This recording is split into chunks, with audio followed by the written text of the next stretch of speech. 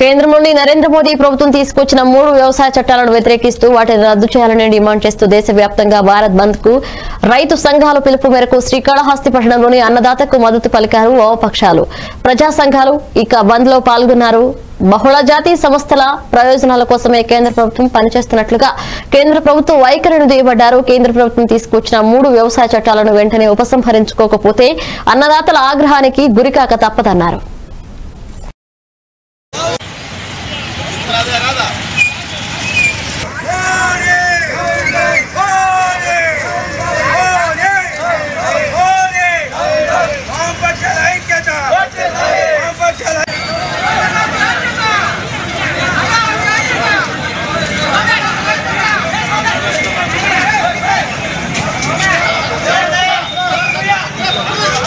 ¡Tiempo!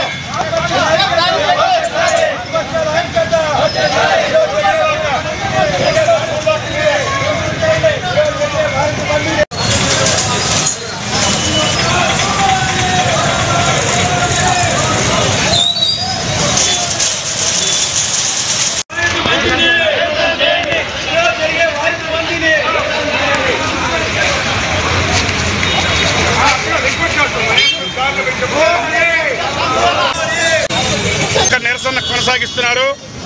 రోజు రోజుకి వారి మద్దతు పెరుగుతుంది. ఇప్పటి వరకు ప్రపంచవ్యాప్తంగా నలభై రెండు దేశాలు ఈ రైతులకు మద్దతు ప్రకటించాయి.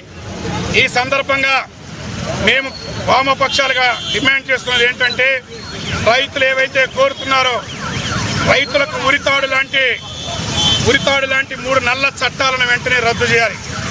ఈ చట్టాలు ప్రజాస్వామ్యయుతంగా ఆమోదించలేదు. అన్న వాళ్ళ మిత్రపక్షమైన అన్నాడీఎంకే వ్యతిరేకించింది. అకాలీ శిరోమణి వాళ్ళు వ్యతిరేకించారు. ఒక కేంద్ర మంత్రి నిరసనగా రాజీనామా చేశారు.